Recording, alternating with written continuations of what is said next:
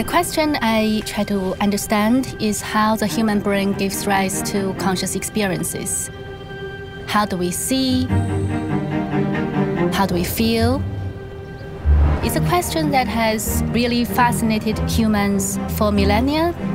How does these two bunches of meat in our brain give rise to vivid subjective experiences, which is really what makes us who we are?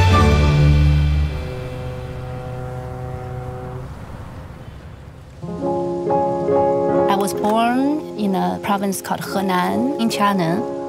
I grew up in the middle of the farms, which was almost like a fairy tale place for me.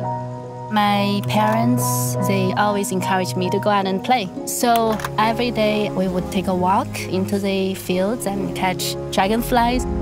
I find it to be really nice opportunity to decompress, think about things deeply, and not be distracted by the noise.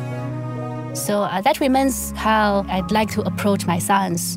Try to ask the most important questions and be reflective, thoughtful, and take a long view on things. My lab is at NYU Grossman School of Medicine.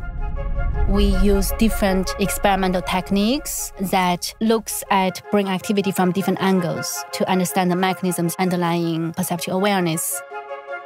We've been focusing on visual perceptual awareness, which is something that goes awry in a lot of neuropsychiatric illnesses.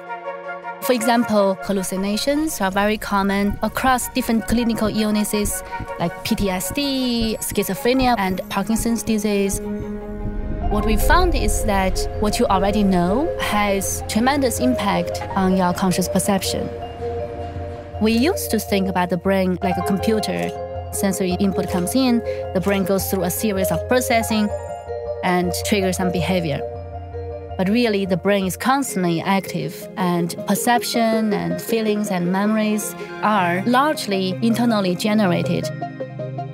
We've had centuries of philosophical ponderings about awareness, but building a strong empirical foundation is the best way forward to really cracking open the mystery to me, it's a really fundamental scientific question because you know, without conscious experience, there would be no suffering and no joy. Conscious experience is at the root of who we are and the only thing that we are absolutely certain of.